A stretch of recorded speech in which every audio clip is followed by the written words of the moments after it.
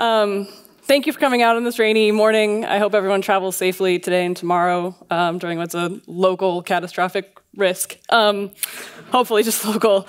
Um, anyway, it's great to be here. So, uh, as Derek uh, mentioned, um, in the fall of last year, uh, our team at Rethink Priorities, the Worldview Investigations team, undertook a sequence of research that we called the CURVE sequence. Um, and the sort of stated goal of this project was to take various tools of evaluating the cost effectiveness of certain actions across different cause areas.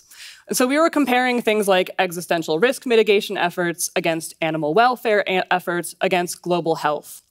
So, what I want to do in this talk is first introduce you to some of the work that we undertook there.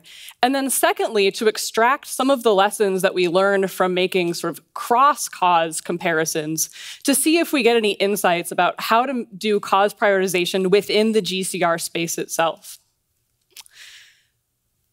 So, in this project, we took on what we take to be two influential ideas in EA.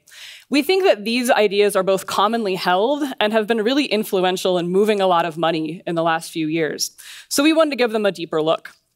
So these two ideas are that expected value maximization supports prioritizing existential risk mitigation work over all else. So that when we do the cost effective estimates this way, we find that existential risk mitigation is robustly favored over global health and animal welfare causes.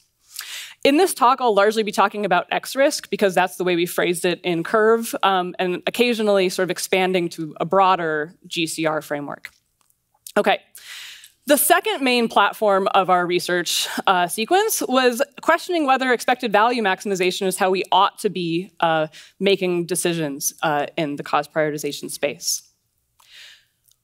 So on this first uh, component, um, we showed that the expected uh, value of X risk mitigation efforts significantly depends on a range of assumptions that are really difficult to assess. So depending on how you come down on these assumptions, sort of what you set as sort of your parameter values for certain key variables, you can get X risk mitigation efforts to be either orders of magnitude more cost effective than other kinds of cause areas to about equal or even less cost effective. So part of what I'll do today is run through what some of these key variables are and what they can tell us about when X risk mitigation efforts are better and worse by the lights of EVM. Secondly, we looked at some alternatives to maximizing expected value. So we take it that there are several different kinds of potentially rational risk aversion. Um, and that if you have uh, risk averse attitudes, you'll differ in significant ways from if you were an expected value maximizer. Philosophers and economists have developed formal decision theories incorporating some amount of risk aversion. And in some of our reports, we apply these different kind of models to cost effectiveness um, estimates to see what difference they made. We found that risk-averse models can significantly make significantly different recommendations from EVM, sometimes more robustly in favor of existential risk mitigation, and sometimes favoring global health and other kinds of causes. Okay. So during this process, we sort of uncovered a lot of information about when existential risk mitigation efforts are better and worse by the lights of various decision theories. So we looked at how do X-risk interventions vary under various assumptions about the background state of the world, what the world is like, about the efficacy of X-risk mitigation efforts, and about how risk aversion might affect your decision making. In this talk, I want to extract some of the insights that we found there to find a series of features that X risk mitigation efforts can have that make them better or worse. So, to find insights like X-risk interventions that have features one, two, and three will tend to have high EV or tend to do well under various kinds of risk aversion. Lastly, you could use those insights to make some decisions within the GCR cause prioritization space itself. So you might identify particular GCR actions that have those admirable features that we um, uncovered. I will have a lot less to say about this third uh, sort of component here. And in part because that just requires a lot of very specific information and expertise about what GCR actions are available to us and the features that they have. As a philosopher, I'm going to speak to the number two um, in a little bit more depth and sort of rely on the expertise in the room at this conference in general for filling out the third thing. At some points, I will surmise, but I will flag when those are sort of mere uh, you know, suggestions uh, that you should take with a grain of salt rather than something that uh, our team has actually investigated. Okay, so let's start with this uh, first aspect of the project, evaluating when do X-risk interventions have high expected value, when do they have low ones.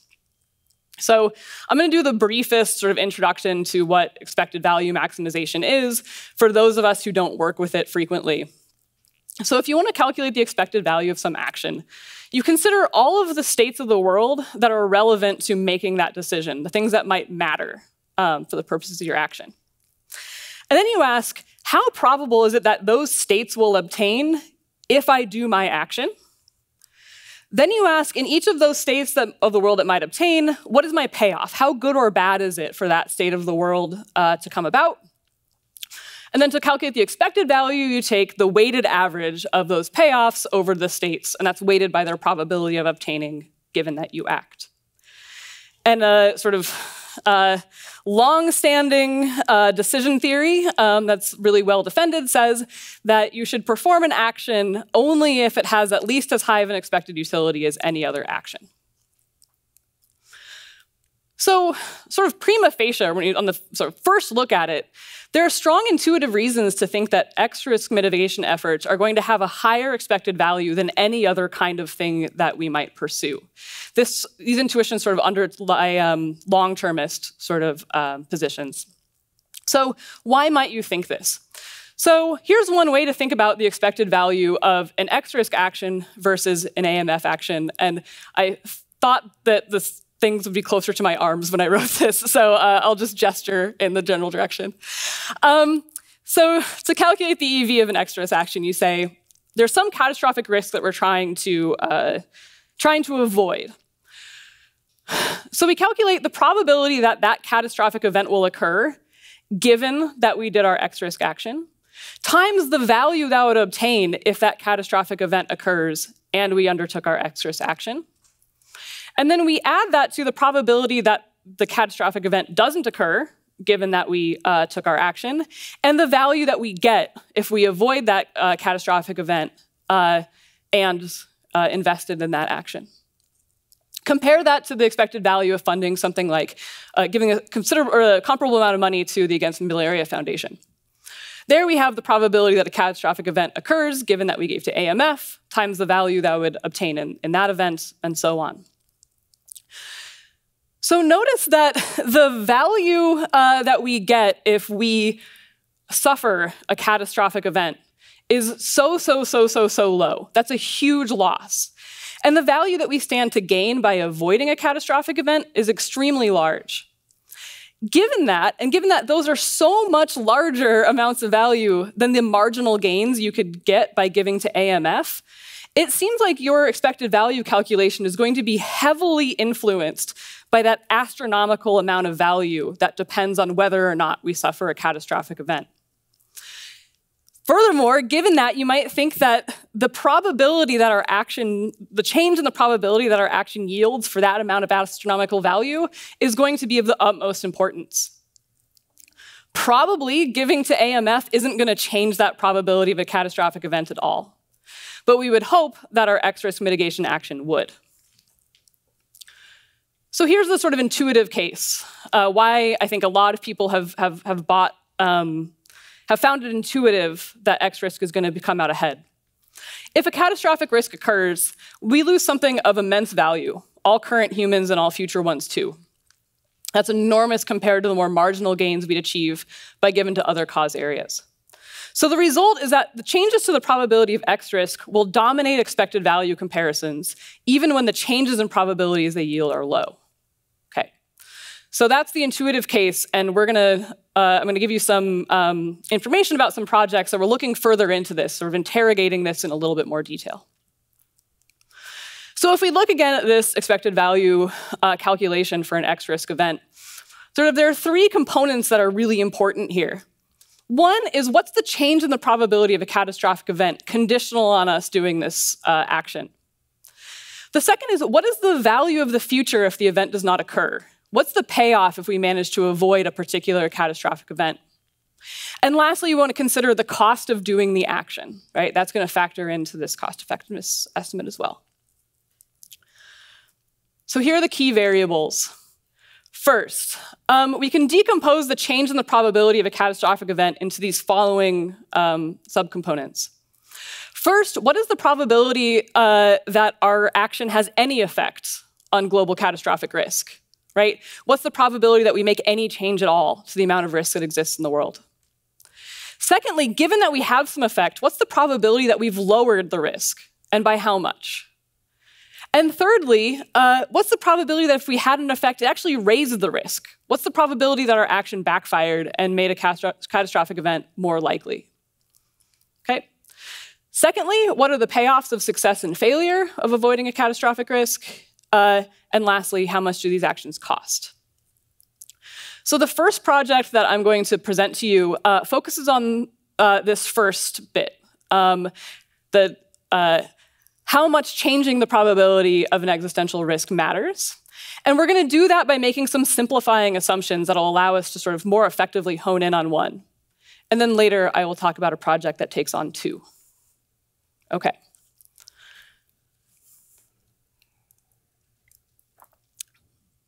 So the first project I'm going to talk about um, is by Laura Duffy, um, the common sense case for X-risk work. So in order to zoom in on the uh, probabilities at play, uh, Laura made some simplifying assumptions. So it's often assumed that even if we don't look a million years into the future, even if we focus on the next two to three generations, we find that X-risk work is more cost effective than other kinds of projects. So this is what she asked. Uh, is this the most valuable cause if we only look at the next three generations, considering only the next 120 to 180 years, and assuming that humanity exists in roughly the same numbers with a roughly the same amount of value per individual as now? What can we say then? So this is a big chart, but I'll walk you through what some of it means. She tried out different sort of parameter settings or different sort of ways of uh, making assumptions about those key variables that I laid out a few slides ago. So uh, a green coloring means that she's made an assumption that's favorable to X-risk work, and a yellow one means it's one that's less favorable. So in these first, uh, the first scenario, for example, you assume that the probability our action has any effect is 20%.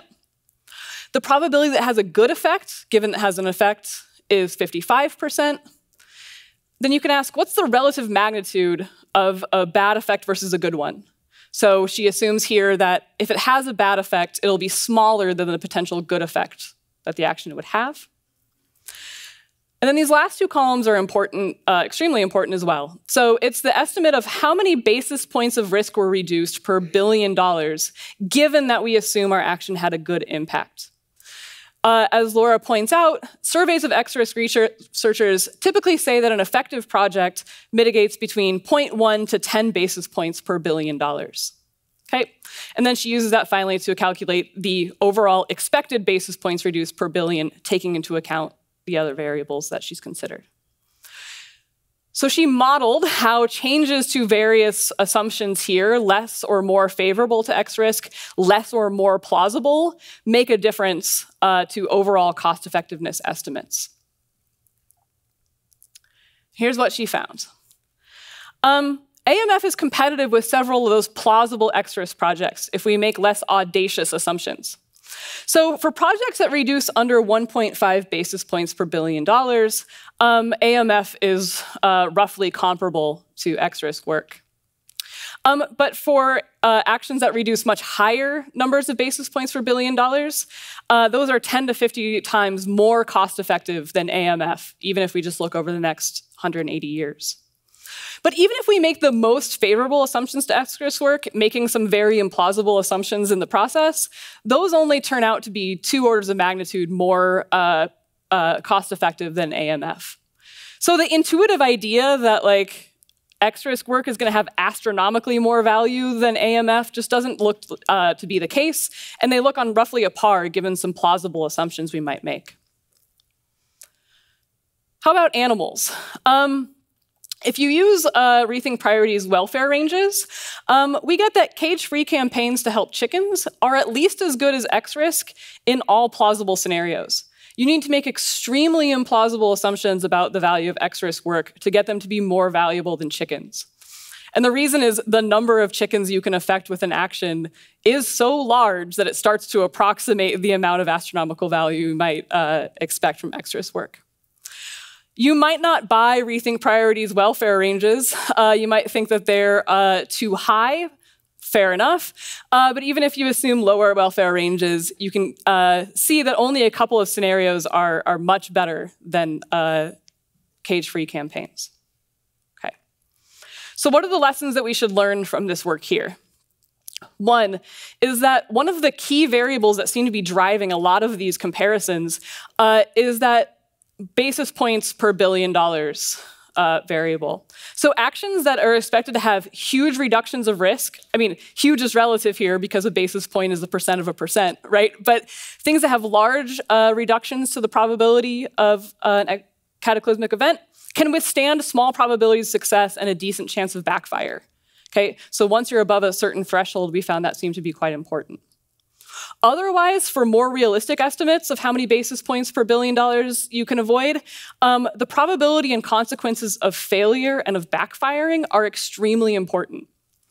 That's going to be one of the themes of this talk, is that when you're thinking about an X-risk um, intervention, you can't just focus on the potential upsides, right? You need to also focus on the probability of backfiring, of actually making it more probable that a, a catastrophic event will occur backfire becomes extremely important when we're talking about uh, lower amounts of basis points per billion.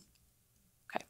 So I'm sure a lot of you are thinking, uh, you've really hamstrung the case for X-Risk work by only focusing on the next three generations.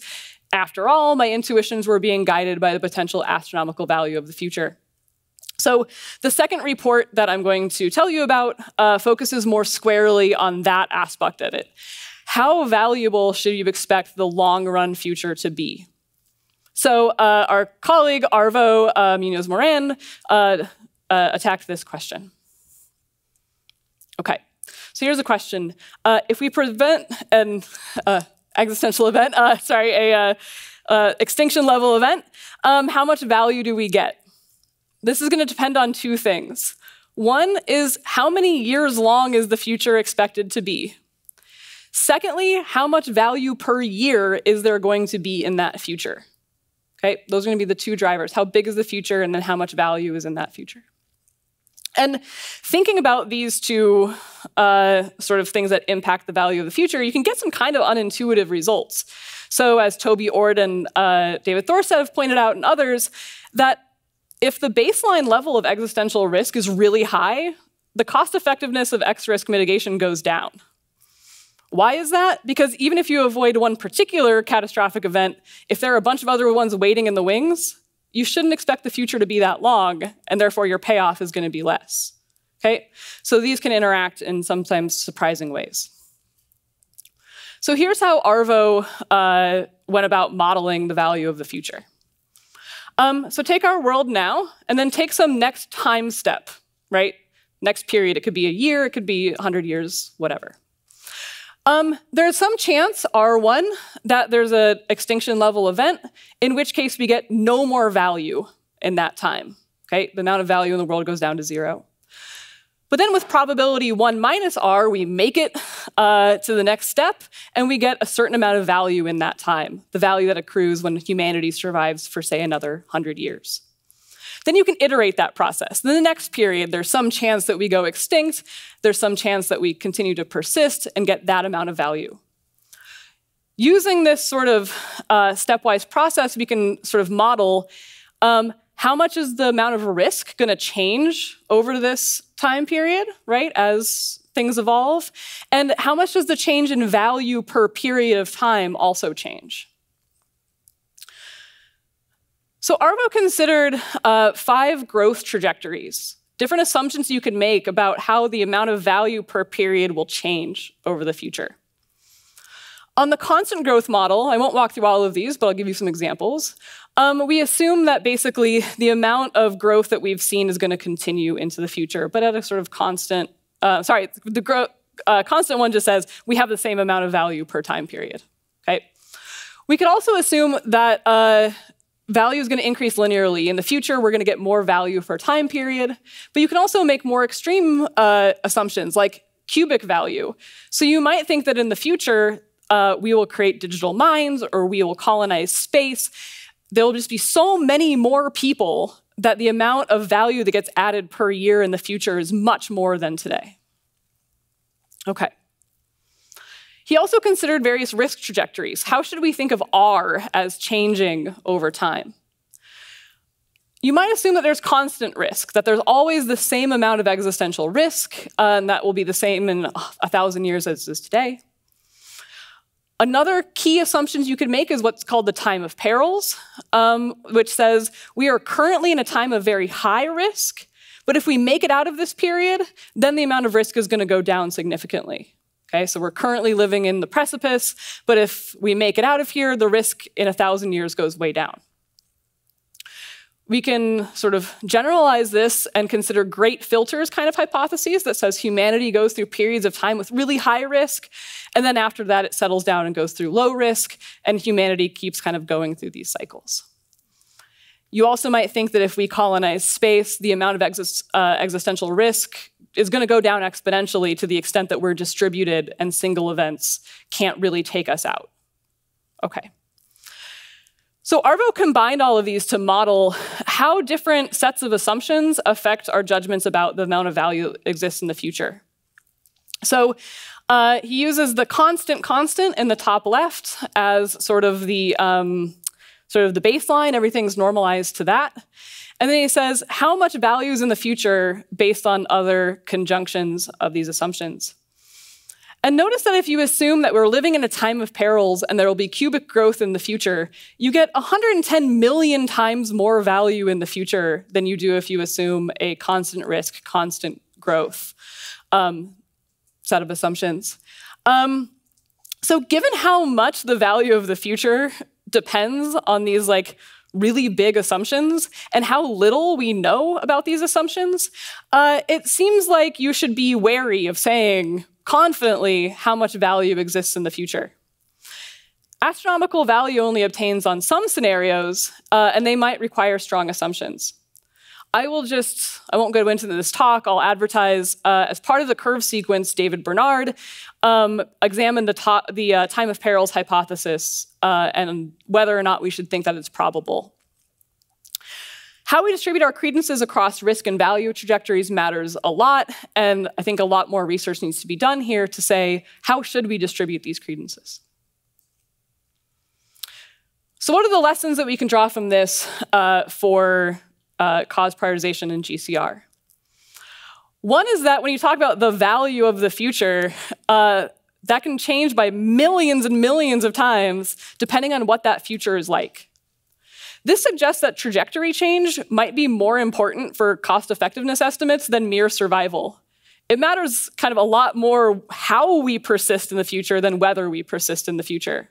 Okay? So if you can take actions that ensure that we're more likely to get in a cubic growth scenario or that the amount of risk goes down, you can yield a huge amount of value. Whereas uh, if you just ensure that we exist in a constant, constant kind of future, uh, the value is going to be a lot less. We didn't explore, um, when we considered the growth in the future, we just considered number of individuals. We didn't consider value per individual, but that would also probably uh, make a huge difference um, to the value of the future.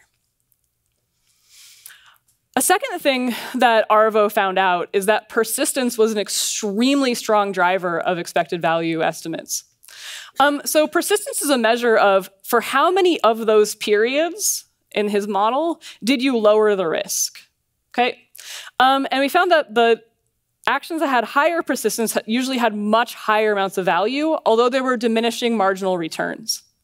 So for example, if you pass an action that's going to be overturned by Congress in five years, such that the persistence of your uh, uh, effort was only five years, that had a much lower expected value than those that had effects on risk for, say, 100 years or more. Okay.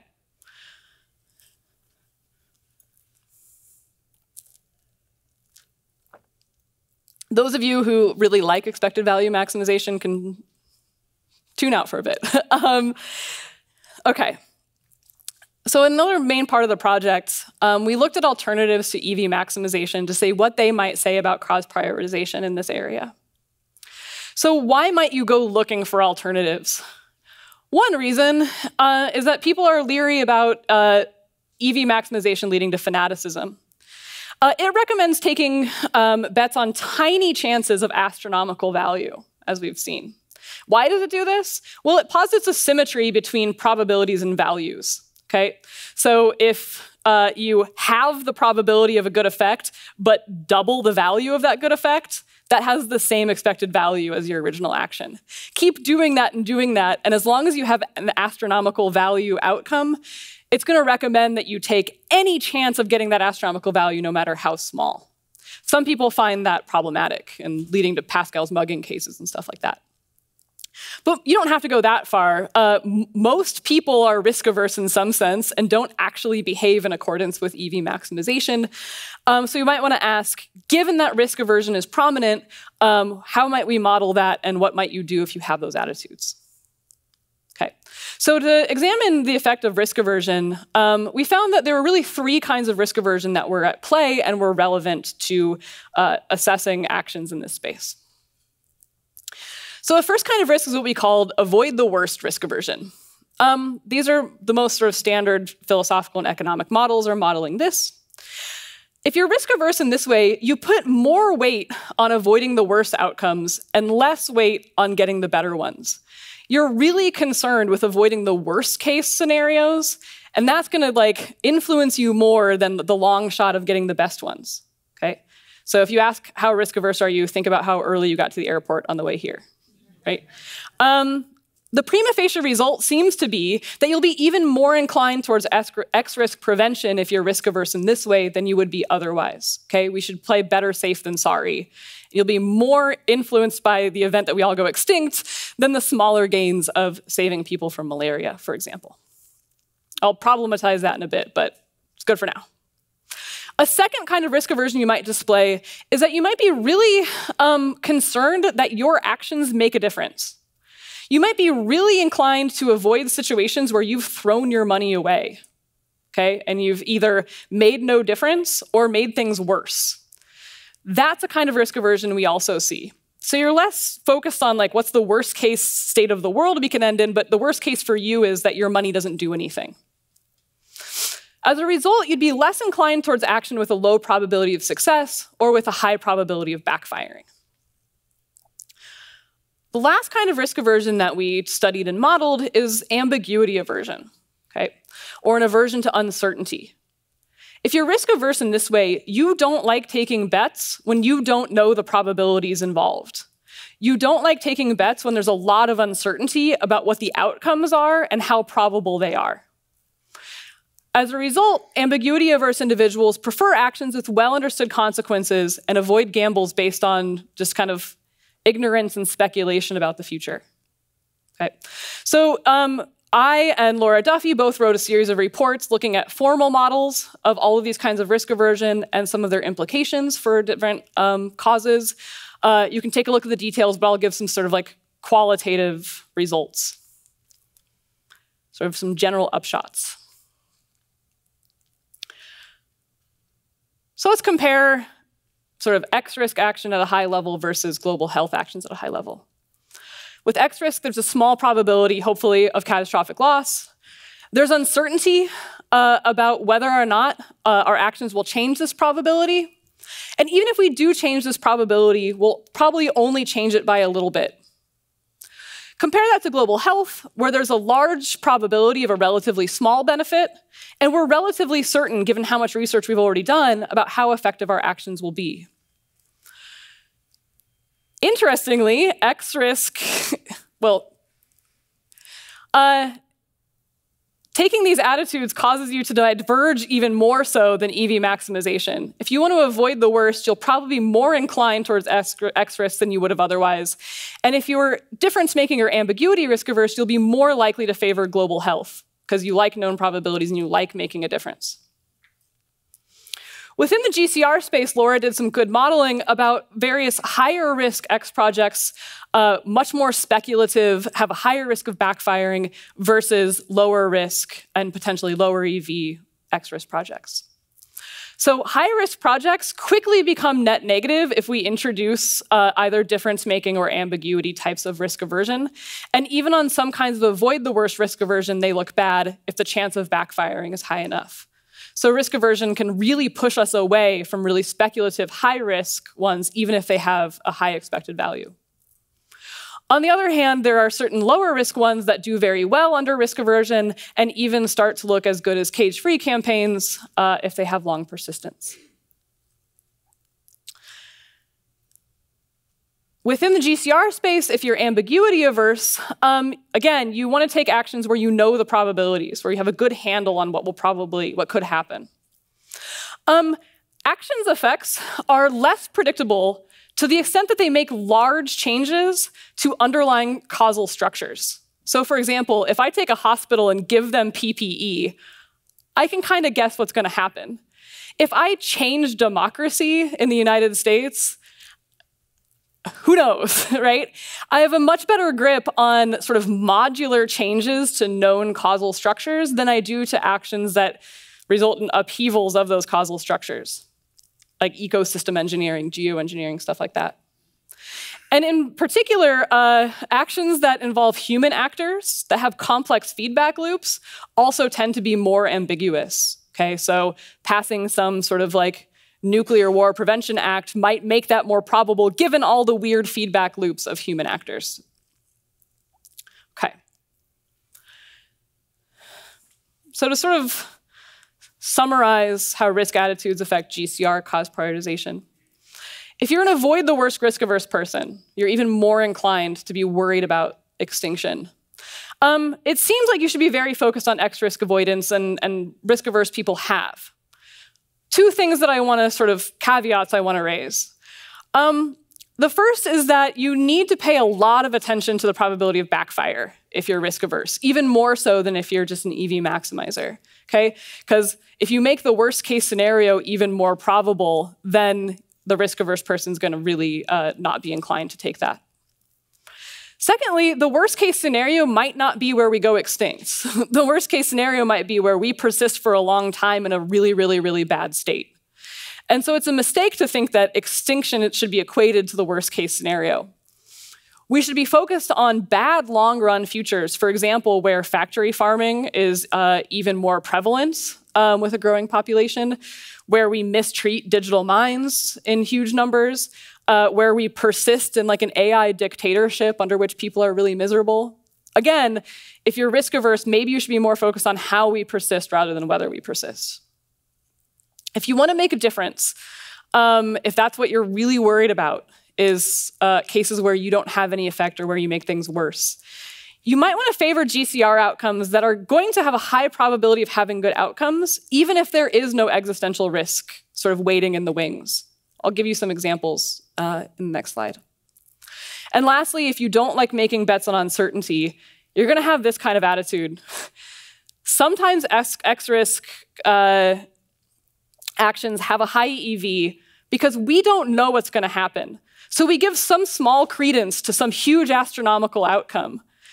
But if you're like, that potential value is arising from ignorance about what might happen, that we reserve some probability for some, you know, really, really good outcome, you're not going to be swayed by that. What you want is like a firm probability that you actually have a chance of bringing about something really good.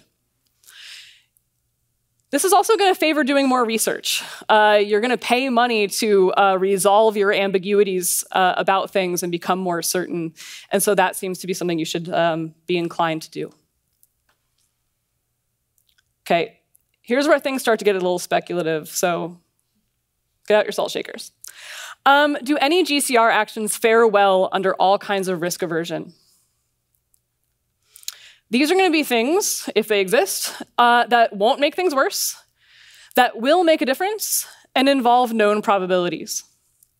So ranking things from like green looks good from the light of all the kinds of risk aversion and red looks kind of bad let's compare some actions in the biorisk, uh, biosecurity space. One kind of action that seems pretty good if you're risk averse is something like personal protective equipment or air filtration. Uh, it has maybe a fairly low expected value. The potential upsides are not as enormous as for other actions, but has a very low risk of backfire. Um, maybe I have a limited imagination, but it's hard to see how that's going to make uh, extinction level pandemic more probable. It has fairly predictable effects.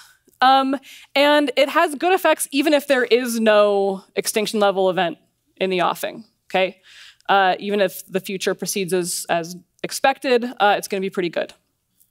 Something in the middle might be something like uh, technology to rapidly deploy new mRNA vaccines in response to new viruses that um, emerge. That's going to have pretty moderate to high EV. I mean, they just saved tens of millions of people during COVID, um, so that looks pretty good. It might have some risk of backfire if those technologies make it more easy to engineer viruses as well. We might be worried that's going to have some downstream bad effects. But so far, those effects have been fairly predictable. And again, they're good even if we're not worried about extinction. Um, they could save a lot of lives in the global health space as well.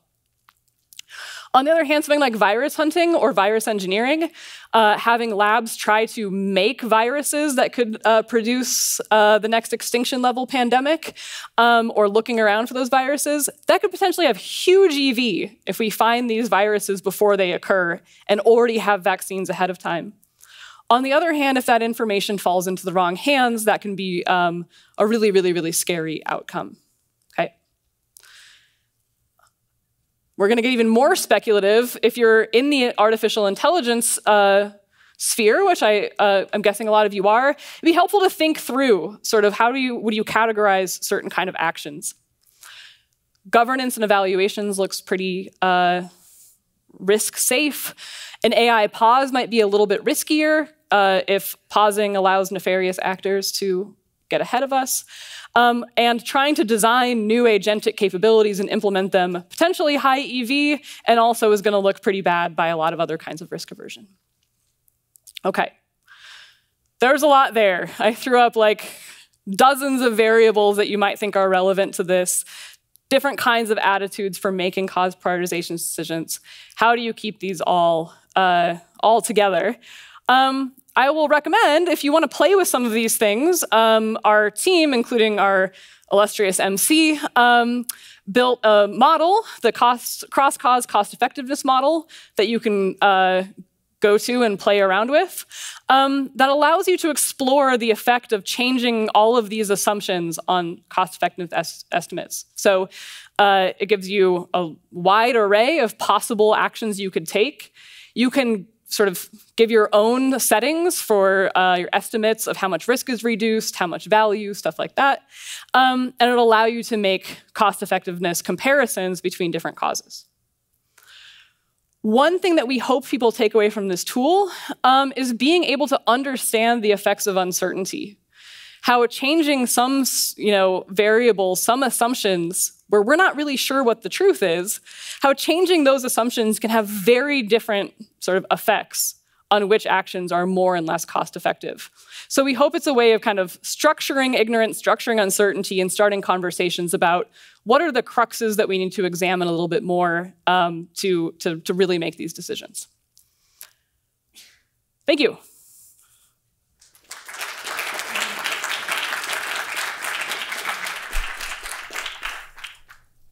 You, Hayley.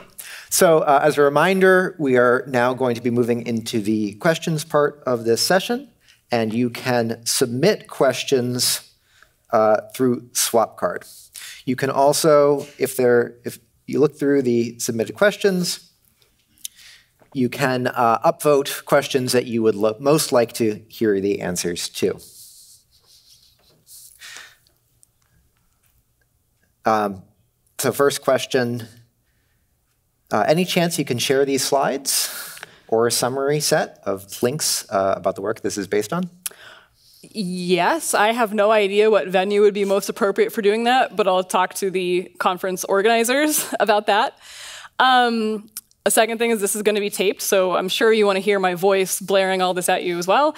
Uh, and the third is that the curve sequence, uh, where you can see much more in-depth reports exploring all of this, uh, is posted on RP's website, uh, and also we had it as a sequence on uh, the EA forum. Uh, if you just look for the curve sequence, it's all compiled there. So all of those reports can be found there, including some that I didn't talk about because they were less sort of squarely on the question of uh, cause prioritization in GCR. Is it important to consider the external perceptual and community, community building value of having various cause areas and interventions in the EA portfolio? For example, many EA community members became interested in EA first through the lens of global poverty, uh, global health and poverty reduction, then over time became interested in other areas such as S risks. That's a fantastic question. Um, it's something that our team has been thinking a lot about about sort of um, you know you might have a set of sort of decision theoretical principles that leads you to a certain conclusion how much should you also be sensitive towards the long-term future of EA given the kind of causes that we choose? Should that ever recommend choosing causes that are outside what your tools recommend? Um, a few things to say about this. One is one of the reasons that we wanted to include risk aversion um, is that a lot of people within EA are really committed to expected value maximization, even when it leads to what look like unintuitive conclusions. But a large, large part of the general populace is risk averse and finds these risk attitudes to be extremely intuitive and a potential way out of some of these unintuitive consequences of, you know, EV till I die kind of uh, kind of views. So what we wanted in part by investigating risk was to say, hey, if you're within EA and you really want like good formal tools, you want things to be quantifiable, you want to be able to track you know certain intuitions rather than just going on vibes alone there are other decision theoretical models that you could use that give you some of that formal precision um, and rigor uh, that might give you some alternatives to evm so one reason also is about the sort of perception. To to the extent that you can explore attitudes that are more in line with, you know, general the, the general populace, you might want to do so. A second thing to say is that's just a really hard philosophical question. If you're like, hey, I've committed to EVM and everything I said have, I'm committed to say, like existential risk work is the only important thing to be doing right now. If that's really the dyed in the wool kind of person you are, then there's this interesting question of how much long, how much are you able to benefit what you think is valuable in the long run by being more pluralistic in the short term. And the last thing is um, a lot of our work sort of undermine this idea that like even if you are an EV maximizer, X risk work is the only thing you should be doing. Uh, I think this should spur conversations about um, how much uh, EAs might be sort of like ignoring animal welfare and certain global health causes as also being extremely valuable, even by the lights of these sort of like hardcore value maximization tools. How much risk aversion are you building into the risk averse uh, analyses? Are they based on empirical amount of risk aversion that individuals have in behavioral studies? Or if not, how much risk aversion did you build in? Good. Um, so the short answer is we uh, allow you to vary that, right? So we didn't use just one setting of risk aversion. Um, in particular, uh, Laura Duffy has this really long report that you can go read with, um, where she walks through all of this in a lot of depth. It's really great work. Um, where she says, like, for low, medium, and high amounts of risk aversion with respect to each of these three kinds, what would the results be? So the precise answer is going to depend on the risk model that you use. I won't go super into it. We looked at two of the best risk models we have, uh, risk-weighted expected utility theory and weighted linear utility theory. Um, and then we gave various parameter settings for risk aversion, uh, and you can see how those play out. If I'm not mistaken, um, the CCM model that you can play with also allows you to adjust how much risk aversion. It has a few uh, different settings. Yeah. yeah. Um, but the question of sort of like how much risk aversion is a realistic setting and how does that translate into the parameters of the model? Can't really do service to that question here, but uh, recommend go especially look at Laura Duffy's um, How Does Risk Aversion Affects Cause Prioritization report.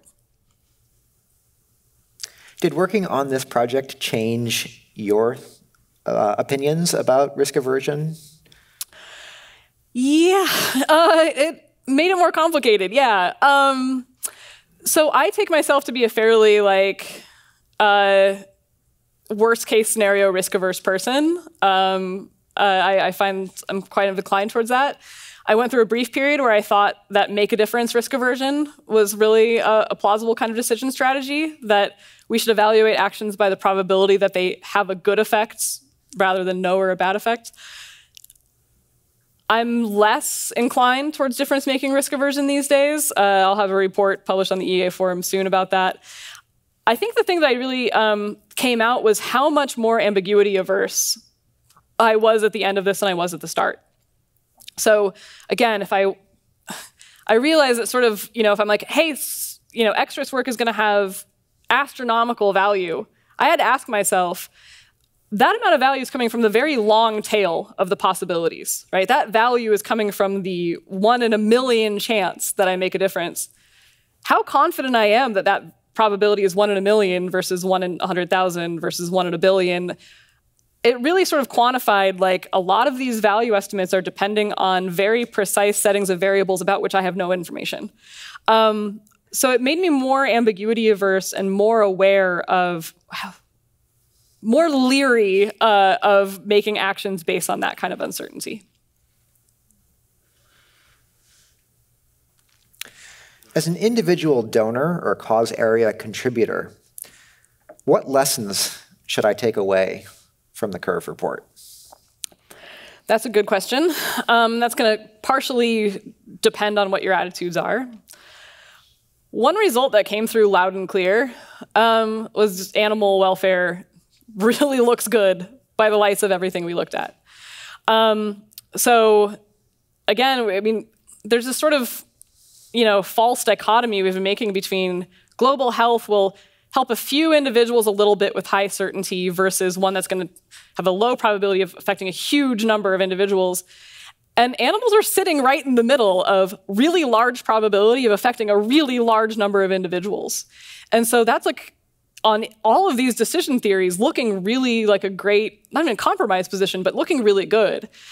Also on all kinds of risk aversion, um, helping animals really stuck out as, as an incredibly important thing. Um, you can be very confident you're going to have an effect. The worst case scenario that currently exists, I mean, it's really bad, and we're seeing it right now. Um, and we have good research on, like, not perfect, but good research on what makes animal lives go better and worse. So the biggest thing that came out for me was um, let's get out of this framework of just comparing global health and X risk work and think like animals are actually coming out, animal work is looking really good um, by the lights of all of these procedures. I w- hadn't anticipated just how strongly it would come out. Do you think it's worth exploring the consequences of putting different amounts of weight into each type of risk aversion?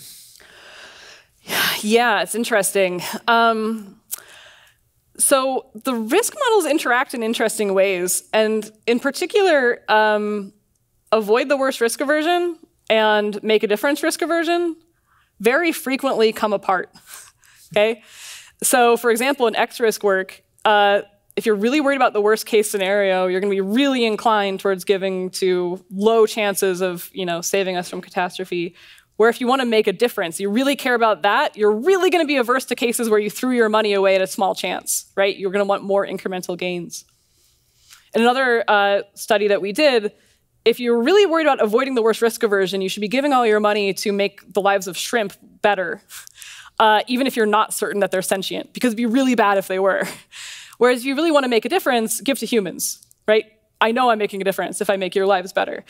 Um, so these kinds of risk aversion in important key cases, sometimes they overlap, but often they come apart. And so that's going to be sort of a, a key pinch point that those don't get combined in interesting ways. Adding ambiguity to the mix often does um, jibe pretty well. Like you can get conjunctions of those views that I think are interesting. Um, but if you really are like, what kind of risk averse agent am I if you find it uh, plausible? That's going to be one key point of departure. Do you want to make a difference with your money or do you really care about the worst case state of the world? So, one traditional uh, approach to handling uncertainty uses discount rates. Uh, did the curve report explore any connection between risk aversion, uncertainty, and discount rates? To my knowledge, no. Discount rates weren't one of the main tools that we used in the curve report. Uh, I know it's something that our team talks about and weighed in on. I don't. I, I might be wrong, but I don't think any of those were actually used um, sort of in this. Uh, a few different things though that are similar to discount rates or might kind of approximate it. One thing that's interesting you can play around with in the CCM is what if I only considered the like 99% of most probable outcomes? What's the expected value then? Leaving off the really far ends of the tails. Or what's like, what's gonna happen if I only focus on the 95% of most probable cases? So that's not quite a discount rate, but it is a way of saying, like, what's the expected value if I ignore the really long tails of the distribution and just think about what's probably gonna happen? Um, and again, other things that you can do. So, uh, you know, another report from the Curve report um, talked a lot about uh, given that we don't know what's going to happen in the far future, given that our information decays over time, and we have a Bayesian prior that our actions have zero effect, what should we estimate the value of long run actions are? So again, that's something that wasn't really couched in terms of discount rates, but approximates that sort of like what penalty should we give something when our knowledge decays over the future. But uh, I'll say it's something our team is working on about um, discount proper discount rates for animal welfare cases and stuff like that. So it's in the air, it's not in the curve. You looked at how different kinds of attitudes can favor uh, various causes that are currently under consideration by effective altruists. Are there configurations of assumptions that you think would imply cause areas that are not currently focused on by EAs? That's really interesting. Um, so one of them that I mentioned here was S-risk work, right? Or like, uh, what's the probability we end up in a really, really, really bad future trajectory? Um, that seems to be something that some EAs are talking about, of course, um, but it's not as common, right? Um, to phrase things in terms of not just avoiding catastrophic risk, but trying to increase the probability of a really good long-term future. Uh, dovetailing with what I said a few answers ago, uh, thinking about animals in the long-run future is also a really important thing that has received some attention but should receive some more. So if you think that the vast majority of value in this world is currently possessed by non-human creatures, uh, and that might will continue to be the case into the future, right? Focusing on how much value exists in the future, not just limited to humans, I think would be a really uh, important cause area for people to work on. All right, so we are at time now, but I want to remind you all that if you would like to continue the conversation, Hayley is having office hours immediately following the session in room 201. All right, thank you.